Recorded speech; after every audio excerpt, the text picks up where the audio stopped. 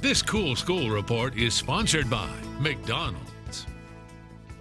Prestige Preparatory Academy is a unique school for boys in Charleston County. News 2's Octavia Mitchell is in North Charleston for our Cool School of the Week.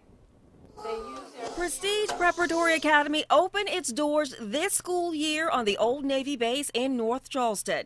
This is unique. This is the first um, all-boy charter school in Charleston County. And with anything, you know, you have your struggles, but we are willing to go against the odds to make a difference for these young men. Currently for kindergarten through fourth grades, they hope to grow to K through eighth grade by 2020. Founder Joyce Coleman says the year-round school provides boys with a world-class learning opportunity by creating a nurturing and innovative environment, developing the core values of scholarship, integrity, and brotherhood.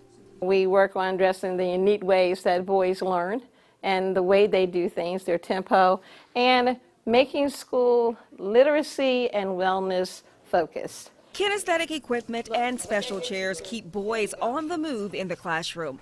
The school is divided into universities, schools within a school. Grades K through 2 are in Dream Builders University in the House of Alpha that's building the foundation. Grades 3 through 4 are in the Dream Makers University, the House of Kappa, leveraging the knowledge. Classes are set up into two core areas. There is a literacy area that lasts for three hours, and then there's exploratory that lasts for three hours, and that's the math and science. Each student is reading the newspaper. The biggest thing that we're doing to target that is just starting with literacy.